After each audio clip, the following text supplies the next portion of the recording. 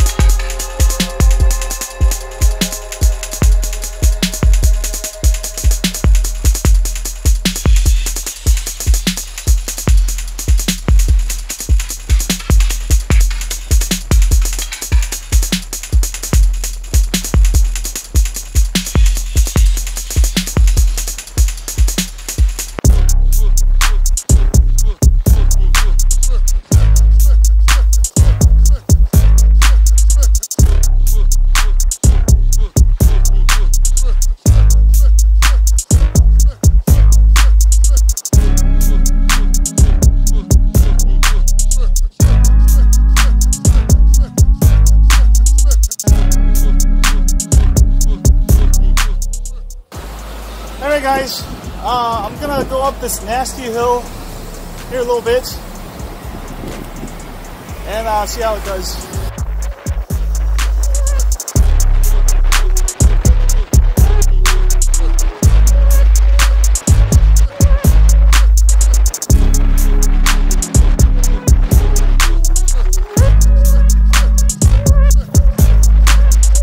Hey guys, so I'm gonna go up this hill. You can see it's really nasty.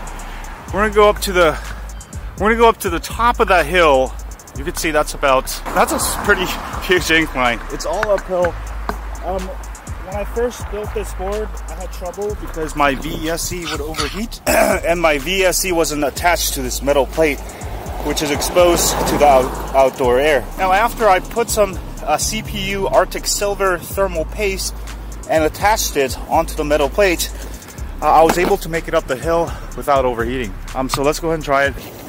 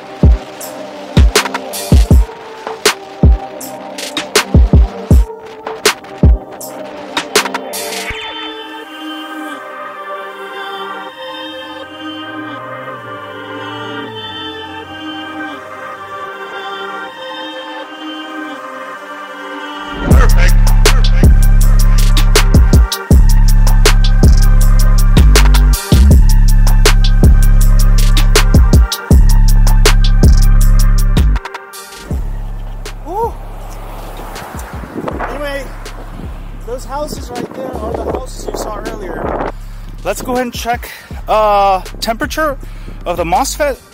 Only 51 degrees. So the heatsink worked really well. Um, you absolutely need it if you're always maxing out because this board, I got it set to 60 amps each motor, which is about 2,500 watts each motor. So I was actually pushing a full 5,000 watts there. Um, so the VESC is designed uh, 100 amps continuous for both motors um, total, which means I'm always maxing it out. So if you're maxing out your VESC, you'll always need uh, some extra cooling like I did here. Let's go home. Uh, really love how fast this is.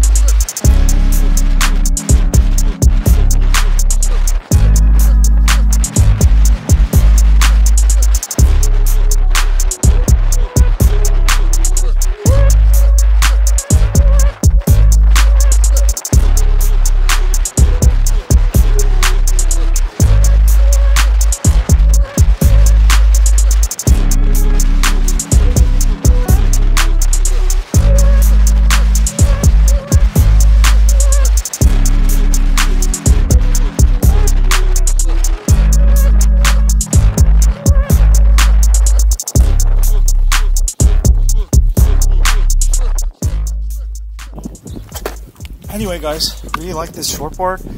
Also, that the motor is uh, under under the board. So, um, the problem with a lot of the commercial boards I, I buy, the motor's in the back, and then when you stand it up like this, it uh, scratches your motors. So this way, it does your motor is more protected, and also you can easily drag it at higher angle. Oh yeah, another thing I like about um, having the uh, motor's under on a drop down deck like this, I can lay it on any piece of uh, flat surface and this allows you to set it uh, on any flat surface real easily. Anyway, I'll see you guys on the next one.